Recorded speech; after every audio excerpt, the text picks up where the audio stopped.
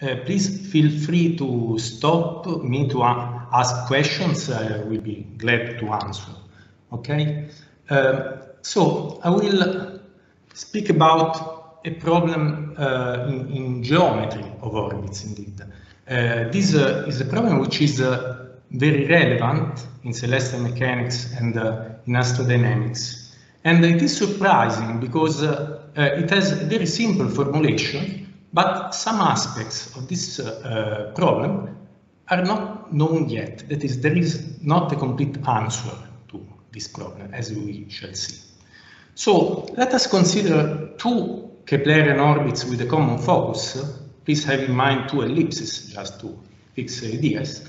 And uh, the, so you can consider the orbital elements uh, like that. Can you see my mouse, no? On the screen. Yes. Yes. Yes. Good. So uh, the orbital elements are like that. That is, you have a vector, capital E, uh, which consists of five components defining the trajectory.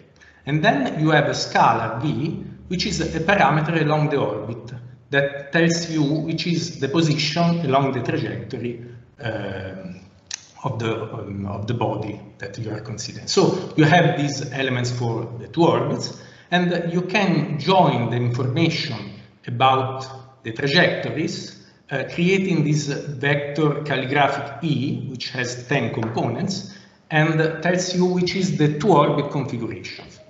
And uh, you can join as well the two parameters along the orbit, V1 and V2, into a vector capital V.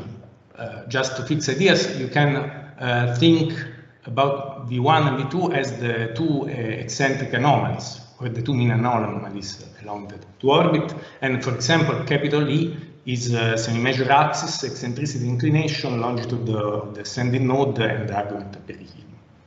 So let us fix a, a, let us choose a two-orbit configuration. So we have these two trajectories which are fixed in space, and we let vary uh, the two parameters uh, along the orbit. And we consider this function, which we call Keplerian distance function, we denote by small d. Uh, so this function is defined as the distance between a point of one trajectory and a point on the other one. We are particularly interested in uh, the local minimum points of, um, of D, and uh, among them, uh, in the absolute minimum, which we call the mean, uh, we denote it we call it orbit distance or MOID, as it is uh, maybe more known in the literature in uh, astronomy, minimum orbit intersection distance. Okay, so the first question that we have to ask ourselves is, but uh, is there still something that we do not know about conics?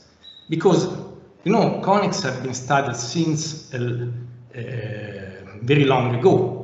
For example, from Apollonius of Perga, the so-called great geometer, uh, about uh, two centuries before Christ, uh, he wrote a treatise, a whole treatise about conics, which we have almost uh, all. There were eight books. We have seven books out of eight, but in any case, even Apollonius um, asked himself and solved the problem of drawing the normals from a point to an ellipse or a conic in general uh, in the same plane. This in modern mathematical language means to compute the stationary point of the distance between this point and the conic.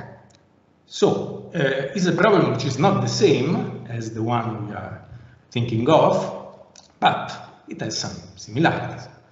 Um, so this problem of Apollonius is completely solved uh, even without coordinates with synthetic geometry. So this is fascinating. We shall see that our problem is not completely solved. So um, to, to compute the local minimum points of the Keplerian distance function d, we can take into account all the critical points of d squared, y squared, uh, because if the two orbits intersect, then the crossing points uh, are not critical in, in, a sense because we are lacking derivatives. So to, to deal with this problem, we simply uh, consider d squared, so that also crossing points are critical. But uh, the question is, how many are they?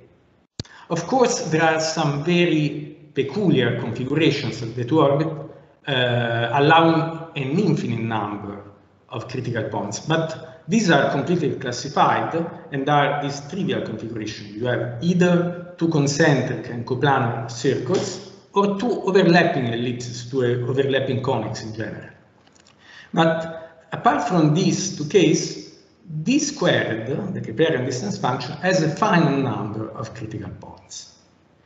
In any case, even if they are finite, uh, they can be more than we expect. In particular, they, there can exist configuration with up to 12 critical points and up to four local minima of the Keplerian distance. And this is not intuitive at all because we can figure out, uh, we can imagine configuration easily with, with, with two uh, local minimum point. We can also imagine configuration with, uh, with only one minimum point, but with three, uh, even with four. Uh, so these bounds are uh, thought to be uh, the maximum possible, but this is an open problem indeed. So a proof of that is not known yet. So uh, I continue with the cartoon just to show you why it's interesting to compute and to know all the local minima, not only the MOID, that is the absolute minimum. Uh, you can see a humanized planet Earth here going along its trajectory, and uh, uh, it realized that uh, it is passing from the MOID point. You can see a very nasty asteroid here, which is ready to, to, to kick the Earth. And so the Earth take, takes care of this uh, point and uh, is glad when the danger is passed. And so it continues its trip along its trajectory, enjoying the sun, without taking care of the other local minimum point. And in this way, uh, he get kicked at the back from the nasty asteroid. Okay, this is uh, only a joke, of course, but is, uh, it shows in an effective way that it's uh, really necessary to take into account all the local uh, minimum points of the distance. So how can we compute them? We can compute there are several ways to compute them because as you can imagine, uh, people started to taking care of this problem since uh, long ago. Uh, there are uh, this very famous paper by Sitarski, for example, going back to the 60s, and even more recently, the algorithms for computing the MOID has been there is a renewed interest in inventing, proposing algorithms to compute the MOID which are faster and faster, also because of the new uh, challenging problems that uh, are posed, uh, for example, with the uh, mega constellations of, uh, of satellites, uh, and also for the much improved knowledge of, of, the asteroid population, for example. And among these methods, there are some algebraic ones uh, we can divide them in two categories so far. That, that is, in 1999, Kholshevnikov and Vassiliev proposed a method which used Gröbner basis. In particular, they were able to uh, compute symbolically a trigonometric polynomial which is univariate and of degree 8 as trigonometric polynomial, um, uh, which gives uh, one component of the stationary bonds. Um, I uh, then myself uh, proposed another algorithm which is algebraic, also in 2002, uh, which use resultant theory. And this is what I'm going to speak of uh, this afternoon. So with resultant theory, we can um, put the problem into uh, polynomial formulation and solve usual uh, polynomials indeed. So the problem can be formulated like that. You consider the equation of the stationary points of d squared. With this symbol, I mean the, the gradient that is the partial derivative of d square with respect to v1 and with respect to v2 equal to 0. So this is, is a trigonometric polynomial, so is a polynomial in sinus and cosinus of v1 and v2, but we can, uh, uh, by a coordinate change, transform these equations into a system of ordinary polynomial, in this case in the variables s and t. So we are dealing now with this system. Uh, in this system, we have two polynomials of total degree 6. Of course, the problem is symmetric, and uh, we have that p has degree 4 in the variable s, while has degree 2 in the t variables, and vice versa, q has degree 2 in s and 4 in t. So now we have a system of two bivariate polynomials. We want to perform elimination of variables. Uh, you all know the Gauss method of uh, elimination of variables which works with the linear system.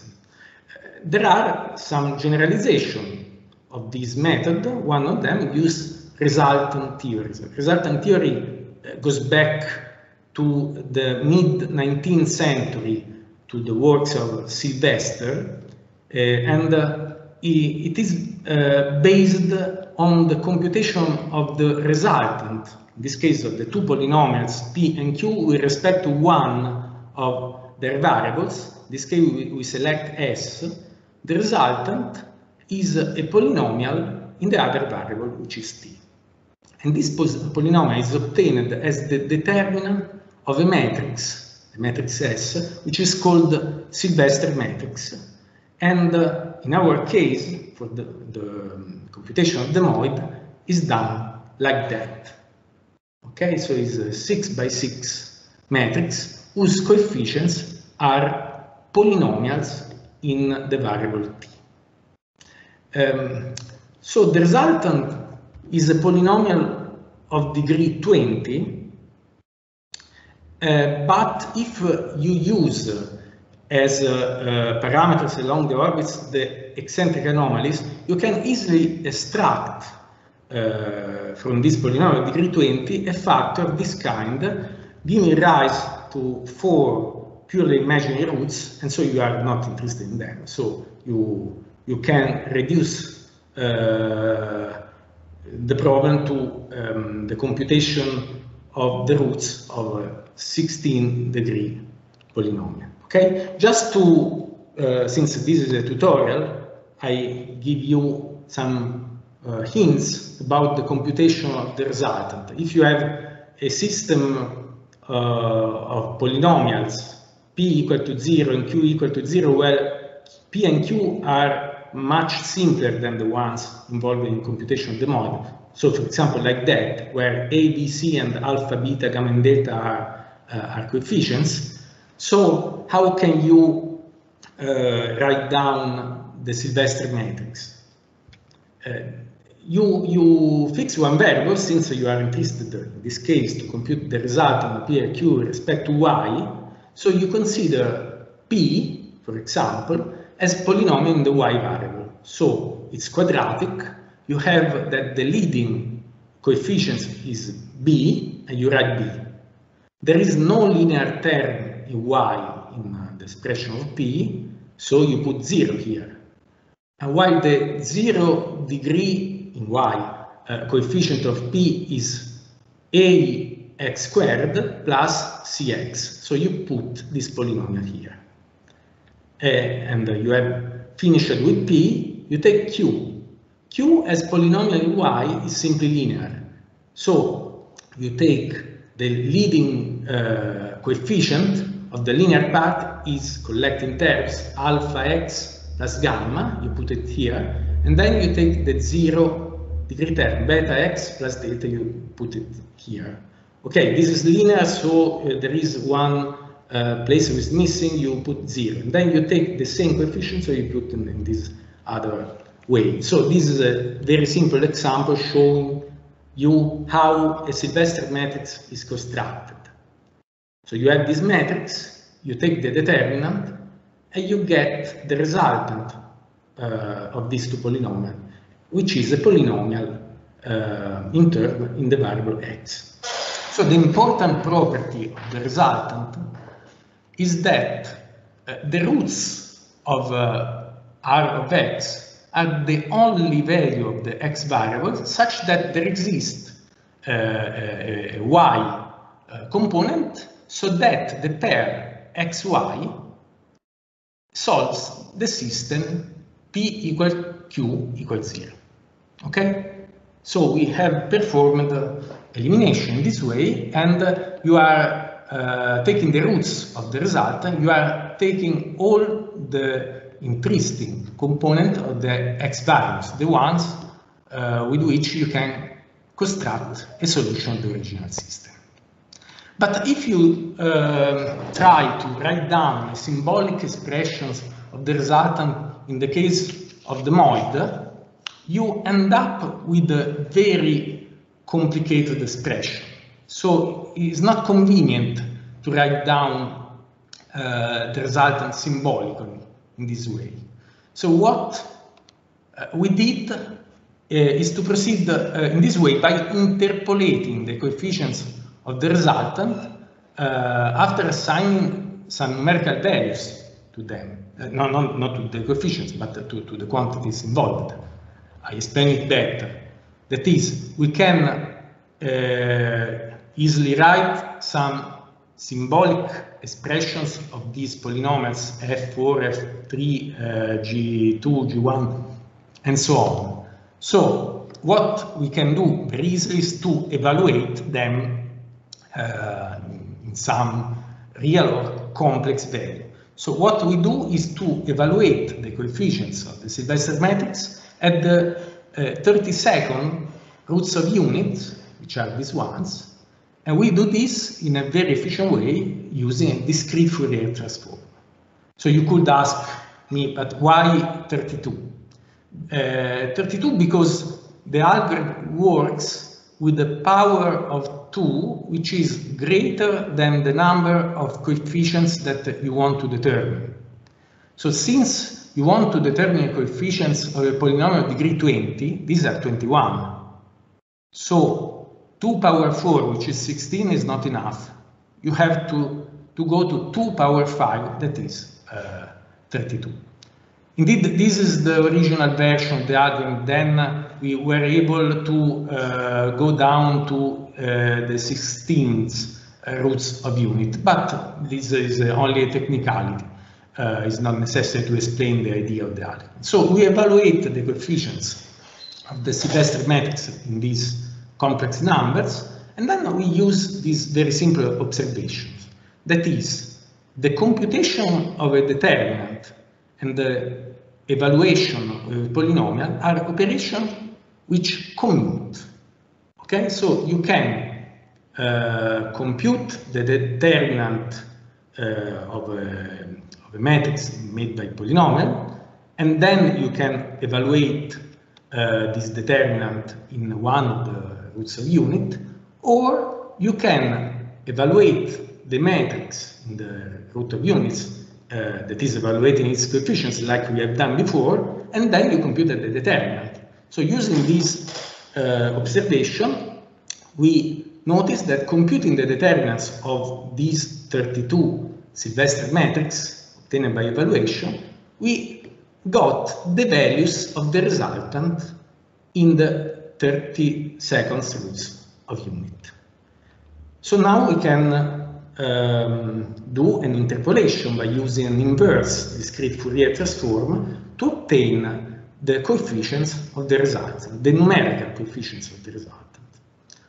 Okay, and uh, then we com compute the roots of this univariate polynomial and uh, we find the, the value of s such that the pair TS uh, are solutions of the, the system given the critical points. So this is the main idea of the algorithm. And uh, I also tell you these results. Indeed, uh, um, we also pin an estimate for the maximum number of critical points when uh, they are finitely many. And the estimate is this one. In the general case, in the case of two ellipses, we can prove that they are at most 16. while in uh, the case uh, where one orbit is circular, we can get a bound of 12. But in any case, as I was saying before, uh, 12 is thought to be an optimal bound for the general case. So this is what we were able to prove. 16 in the general case and 12 if an orbit is circular. But we think that 12 is indeed uh, the, uh, the bound, the optimal bound in the general case, and indeed 10 if one orbit is circular. Uh, to prove this bound, I tell you which is the result that we have used because this is very nice. It's constructive and it allows you to produce some, some efficient bounds if you are involved in problems with with the polynomials. So this is called Bernstein theorem and is a result in combinatorics indeed, which gives you a bound for the number of solutions in polynomial system in the complex. Look, we are interested in bound in the real, but uh, this theorem is, uh, is uh, useful as well. And uh, it says that um, this bound is given by the mixed area of Newton's polygons of P and Q. Uh, indeed, the bound is obtained in C star squared, that is, you, you skip the zero in the complex, but you can recover uh, the bound in C squared. Uh, I don't tell you how, this is also technicality, while I think is, uh, is uh, useful to learn how to compute this mixed area of Newton's polygons of P and Q. So first of all, what are Newton's polygons of these two polynomials? This is uh, very simple indeed. Uh, take the polynomial P. The polynomial P is a polynomial in the variable s and t, so it has some monomials uh, with uh, products of powers of s and t. So let's assume that we have a monomial with t power 4 times s power 2. So in correspondence of this monomial, we take this point with coordinate 4 on the axis t, on the t-axis, and we, with coordinate 2 on the x-axis. And we do this operation for every monomial appearing in the symbolic expression of the p polynomial. So we obtain all these circles, these yellow circles, I hope that you can see them. And then you, uh, uh, you consider the convex hull, the, the, convex envelope of these points, which is a polygon. In this case, is a rectangle, uh, 4 by 2. You can do the same with the Q polynomial. You obtain a rectangle which is uh, uh, rotated by, by, that is that uh, we have a symmetry in this problem so it's it's normal that in this case we obtain a rectangle 2 by 4 hmm? so the bound uh, I was speaking before best Bernstein theorem is given uh, like that you consider a mixed area that is the area of the Minkowski sum of the two uh, polygon which is uh, given by the vector sum of all the vectors that can uh, belong to, to one of, or the other set. So for example, you, you have the vector uh, for zero with components for zero that you can sum with the vector uh, with components to zero and this gives rise to this point, but uh, you can take all the other possible combination, you get this square. So the area of this square is 36 you have to subtract the area of this rectangle, which is 8 times 2, that is 36 minus 16 equal to 20. So you have a bound of 20, then you can consider the, the solutions which are not real, uh, you, you, you skip them and you get the bound of 16. Okay, so this is, is an example with 12 critical points and 4 minima. Indeed, uh, to check the computation, it's uh, very useful to consider the level curves of the square distance because we are computing critical points. And uh, as you, you, may know, the topology of the level curves of the function uh, changed in, in cor uh, correspondence of uh, the critical points or critical values. Okay, so you can see here, for example, one maximum with red cross, another maximum, then you have four minimum points, these blue crosses, and then the stars, which are six in this case, corresponds to saddle points. Indeed, from Morse theory, since uh, you are considering a function defined on a torus, you have this rule, the number of maximum points point plus uh, minimum points minus saddle points must be equal to zero, which is uh, the so-called Euler Poincare characteristic of the torus. So these are the orbital elements uh, giving rise to this uh, configuration. This indeed you have perihelion distance Q1 Q2, to eccentricity, and then you have the mutual inclination, the mutual uh, argument of perihelion that is counted from the mutual nodal line. This uh, is a real case from the web page uh, of NEODyS, indeed very long ago, 2006, August 2006. This is asteroid 1999 AN10, which is now numbered, it's not anymore this uh, denomination, but uh, it was uh, marked as, as dangerous at that time. And you can see also why, because this green uh, orbit is the orbit of the Earth. So the orbit of the asteroid is almost crossing the orbit of the Earth at both nodes. So in fact, you can see that the value of the local minima are quite small. The units here are astronomical units. Okay? And so here uh, you have this table which is resuming the conjecture, the open problem that uh, is related to, to, to this theory. Uh, that is, we have proved that we have six critical points at most, but we think that there are 12 in the general case. We, we, we have proved that the, they are 12 indeed if one orbit is circular, but indeed we think that there are 10. If you have two circular orbits, uh, there is no doubt. The critical points are 8 because you can compute them explicitly, but the first three lines uh, gives rise to open problem. So now to go on, uh, I try to go a bit faster. Um, I will tell you another result um, which uh, I got together with Giacomo Tommei in 2007. And in this case, we consider these maps, which we call DH and the mean. So DH is a local minimum of the two orbit configuration, which is labeled with H. So we, we may have more than one local minimum, up to four, as you saw uh, before, and we label if for uh, a given orbit configuration we have, let's say, two uh, local minima, we label them with D1 and D2.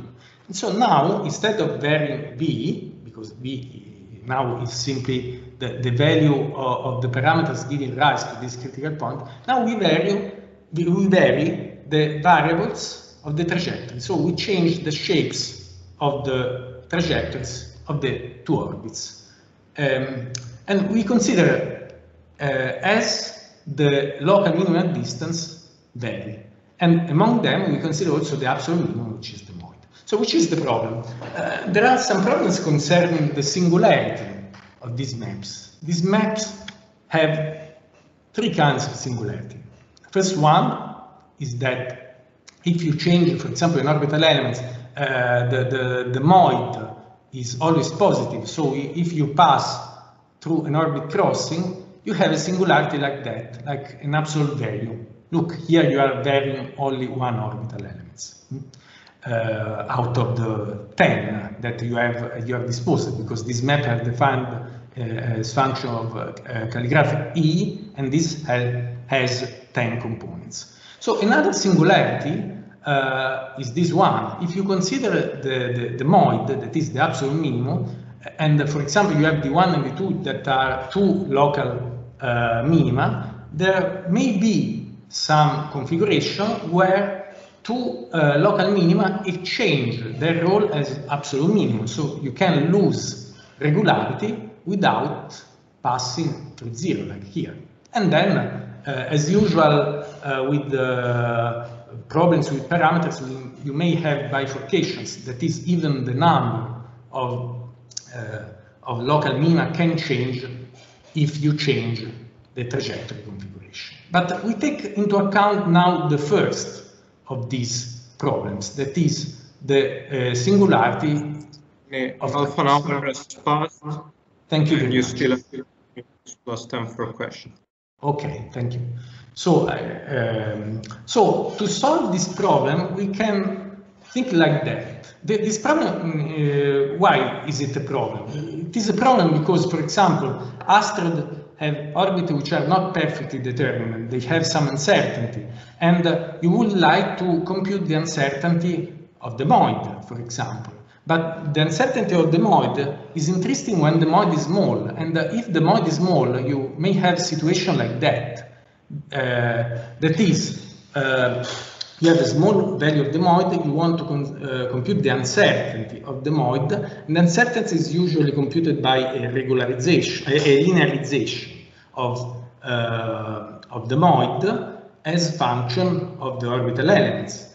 But if you linearize the MOID here, of course, this uh, linear function is not representative of the behavior of the MOID because it may even assume negative value. But if you uh, um, if you change the sign to the MOID on this branch, uh, obtaining this green curve, indeed you obtain a much uh, more regular more regular curve.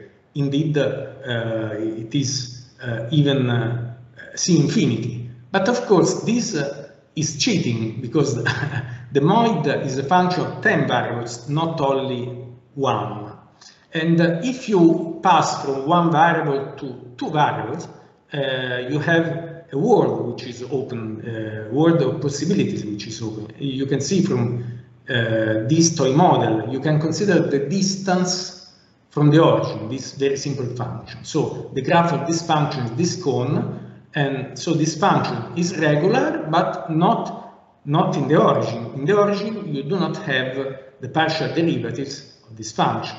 What can you do? You can cut off the y-axis, for example, and you uh, change the sign of the function on, on the half plane where you have positive value of, the x variable, and you obtain this function, you extend by continuity this function to zero, and you obtain a function which is more regular than the original one, that is, you have all the directional derivatives in zero, but this function is not anymore defined on the two half line uh, of um, positive and negative y values.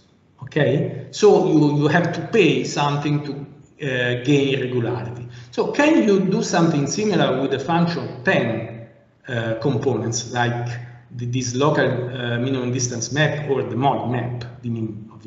The answer is yes, and this is what we did together with Giacomo and the idea is this one. So take uh, two orbit configuration, which is maybe close to a crossing, but it, it is not crossing. So you take this uh, local minimum point um, indicated by Q1 and Q2, and uh, you consider the tangent vectors to the two orbits, to 1 and to 3, uh, to, to 1 and to 2, sorry, uh, to the two orbits in the two local minimum points. Uh, you can construct the vector to 3 as the cross product of tau1 and tau2. Uh, then you can join the two local minimum points q1 and q2, these are the coordinates, and you consider the difference, and the difference give, uh, give you uh, this vector delta h. So from the properties of critical points, you have that delta H is parallel to tau 3. So you can use this very simple rule.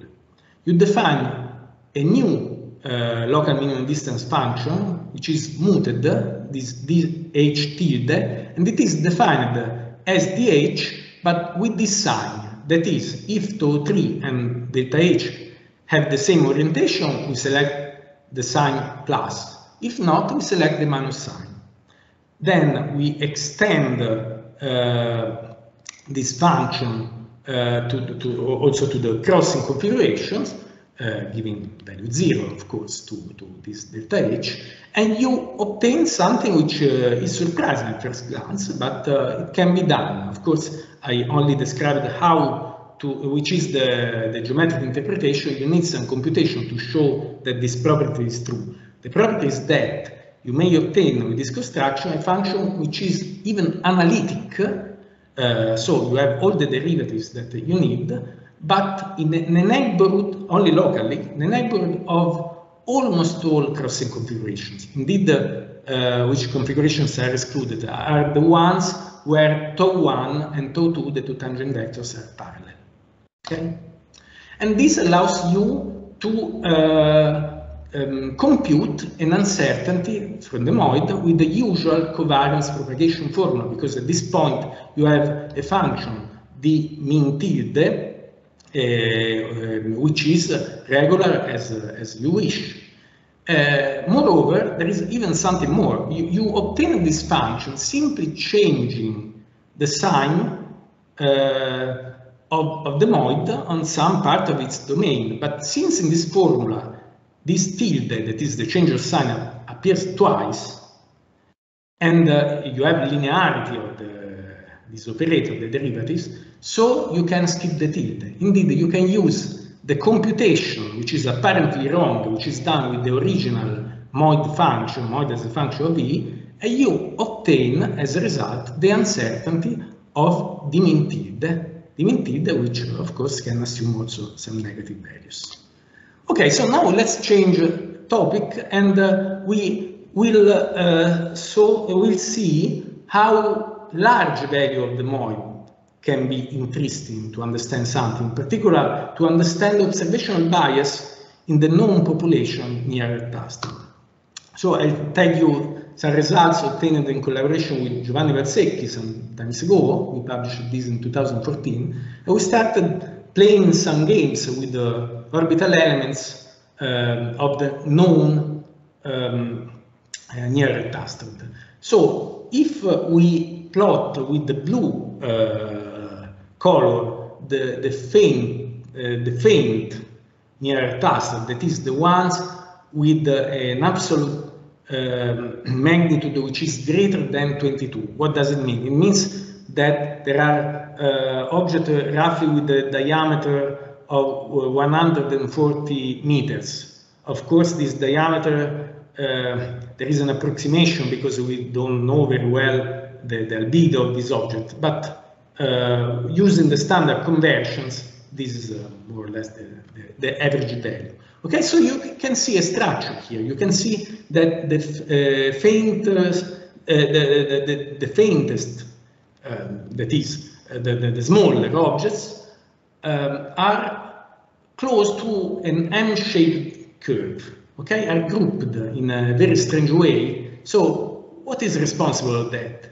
Is it a dynamical effect or a geometrical effect? Uh, it's a very questionable that it is a dynamical effect. We shall see that it is a pure geometrical effect that can explain this, and uh, um, the MOID is involved in this.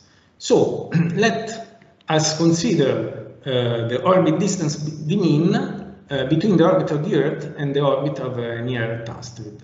So uh, the explanation to that phenomena is done with a very naive uh, uh, argument indeed, because we, we know that we can guess that uh, most of uh, NEAs with a small value of the MOID are detected sooner or later. Uh, while if you have a small um, asteroid, a small asteroid with a large value of the MOID, then uh, it's more difficult to observe it and uh, it is likely to, to remain unobserved. So these are very trivial observations, but uh, we shall see that uh, they are enough to uh, explain this. So this is another game uh, that we, we, we, made, another plot with, in the plane of perihelion distance and MOID, where you also can see a structure, the structure, that you see a linear structure here, and then here you can see as if the, there were a fold uh, in the projection display. So uh, indeed, uh, here we are dealing with projections, and uh, for example, as uh, is well known from this this novel by by Abbott Flatland. If you take one plane figure, a triangle, and you see it from a certain perspective, it will appear as a straight line. Hmm? So to explain this, let's, uh, let us consider the NEA class, that is, all the possible values of these orbital elements uh, belonging to an NEA, where we are including parabolic orbits, so the eccentricity goes to 0 to 1, 1 included. And then we use in uh, planet Earth on um, a zero inclination orbit with the radius 1 astronomical unit. So what we were able to prove, among other things, is this relevant fact that you have an explicit expression for the maximum moid, is uh, again with the words, because you are taking the maximum of the minimum, okay? The, the maximum moid uh, for fixed value of perihelion distance and argument perihelion, that is, you are letting vary the eccentricity and the inclination, you have an explicit expression for uh, this function. And this function is the maximum between this very simple function, which is linear in the variable q, and this delta q omega, which is simply the moid between the orbit of the Earth and a parabolic orbit that is with the with e equal to 1 and an inclination pi half. So this corresponds to uh, an asteroid with eccentricity 0. This corresponds to an asteroid with eccentricity 1. And this is the graph of this function of the maximum of the moid as, uh, as a function of q and omega. And as you can see, here we have a bottom valley of this curve where the two surfaces intersect. And this bottom valley can be uh, computed, and indeed we project it onto the q omega plane, and we see this structure. So the black curve is just the projection, the bottom value on this plane, and we can see that all the faint NEAs, marked with blue dots, are pretty grouped uh, around this curve. Uh, while uh, you have the, the, the, the, the larger asteroids, the ones with the H less than 16, which are the red dots, and all the other ones that is with absolute magnitude between 16 and 22, which are sparse, they are the, the green ones. No? But the blue ones are grouped. And why this? This means, let's go back to this uh, figure. So this figure is the graph of the surface, which is an optimal bound for the maximum moid. So uh, if you take values of q and omega, which are along these black curves. This means that we are, uh, they are related to the bottom value, that is whatever are the values of the other variables, eccentricity inclination, the value of the moid will be small. While we, if you consider values of q and omega here, then you may reach value of the moid uh, which are quite high because this upper bound is optimal. There are there exist some values of the eccentricity and inclination corresponding to this value of the moid. So if the value of the moid is, is large and you are observing a small object, uh, probably you will not see it. Okay, so um, another quickly uh, another way of seeing this surface by rotating it until uh, uh, the result is a projection onto the plane Q and uh, moid uh, gives you the structure at the bottom right. So this structure explains the other figure indeed, because you remember we had this linear structure, this is corresponding indeed to the flat part of the surface, and also this fold is explained because you can see uh, that uh, there are uh, there is this more complicated surface uh, that seen in projection shows this this fold. Okay, just to, to end this part, I would like to uh, tell you something also about uh, a, more recent work, but there is a predictive way to use the theory developed together with Giovanni Valsecchi, which is this one. Uh, Sorry, Giovanni, you still have five minutes and time for questions. Okay, okay. Um, so, uh, you, you have uh, a variable which is called, a, pa a, parameter which is called q prime, which represents the perihelion distance of the Earth in the theory developed and the whole the expression. So we set it to one astronomical unit, but in principle you could set it to, let's say, 0.7, for example, like the semi-major axis of, of Venus, more or less. And so what does it mean? In correspondence, you can obtain an M-shaped curve like that. This means that if you put a telescope on a Venus-like orbit, like was uh, proposed in the, the uh, Sentinel, I think, uh, project uh, uh, some time ago, sooner or later you should discover several faint objects which are uh, close to this other M-shaped so I use the last minutes just to tell you a few things about a possible generalization of this theory, which is not easy at all. We made some progress together with Laurent Niederman and the results have been published this year. So instead of considering a circular Earth, we, uh, we give it some eccentricity, eccentricity prime in this, in this interval, and we use mutual elements that I introduced before. So what happens is that instead of getting a flat uh, part of the surface, this is uh, again the maximum MOID as function of the perihelion distance and argument, mutual argument of perihelion of the asteroid orbits, uh, there is a, a, a bulge which is increasing with increasing prime. Here we use values such as uh, dot one, dot two, dot three, and dot four. So what is responsible for this bulge? Indeed, in this case, uh, the explicit or almost explicit computation that uh, uh, we get before are not uh, very easy to obtain. At least we, we, we were not able uh, to, to, to obtain. But uh, what we did uh, was to try to use an approximation of the MOID which has some properties in common with the MOID. The approximation is given by this function which is delta node which is the minimum between the absolute value of the ascending and the descending nodal distances. I mean, take this figure, have these two orbits, you have the nodal point, let's say ascending nodal point, descending nodal point, and you take uh, this distance and this distance, you take the minimum among them. So uh, this distance you call nodal distance and uh, you denote by delta node, which are the properties of delta node. Delta node does not depend on the mutual inclination, so you have one variable less, indeed, with respect to the MOID theory, and you have this important property that if the mutual inclination is different from zero, delta node vanishes uh, if and only if the MOID is vanishing.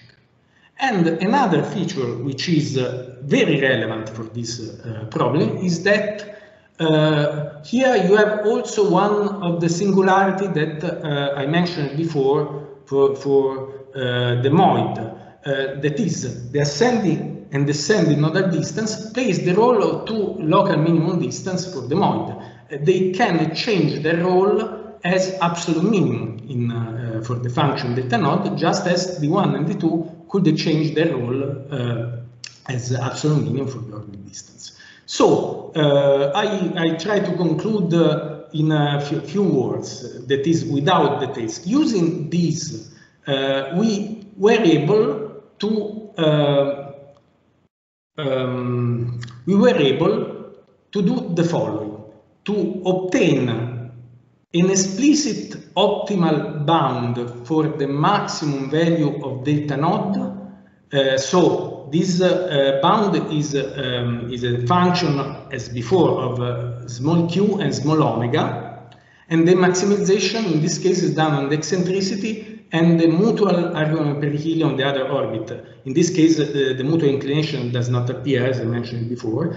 And this is obtained as the maximum of uh, these three functions that uh, have uh, a very complicated expression, but what matters is that in these functions, there are these values with the cap, with the hat above, and this corresponds to value of the orbital elements where you have this change of role uh, as, um, as absolute minimum between the ascending and descending node. So you can see these are the, the graph, the surface that we obtain in this case, and we obtain a bulge also in this case, which is increasing with increasing E prime.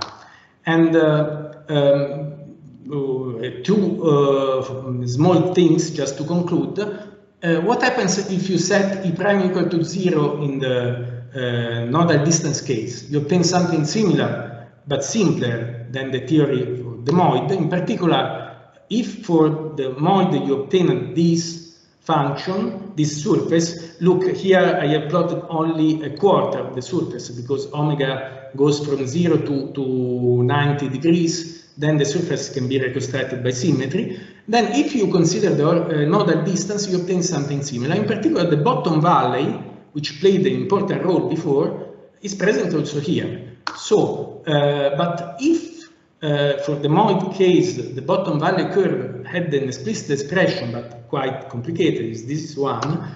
Uh, for the nodal distance, you have this very simple expression, and the two curves are close. Uh, as a byproduct of this computation, we have also this plot in the plane q omega, where regions with different linking configuration, that is where you have internal nodes uh, that is the nodes of the asteroid internal to the ones of the Earth, uh, or external, or you have a link, uh, linked orbit configuration, are perfectly classified. In particular, in this case, you can see that there is a region where uh, if q and omega are in this region, whatever are the values of the other variables, you can have only internal nodes. So I conclude by showing you this updated picture that is this uh, goes back to uh, July 2019 where uh, we plotted all the known NEAs which are faint, that is with h greater than 22, and we plot the beta curve that is the bottom value nodal distance, and a curve here uh, which isolates on the left the um, configurations with all internal nodes. So you can see again that uh, the faint objects are grouped um, uh, around the beta curve, while these regions are empty. While they are empty, indeed, if uh, whatever the values of the other uh, variables, you have always internal nodes, this uh, gives rise to uh, observing conditions which are quite difficult. So maybe there are objects here, but they're difficult to be observed. That's it.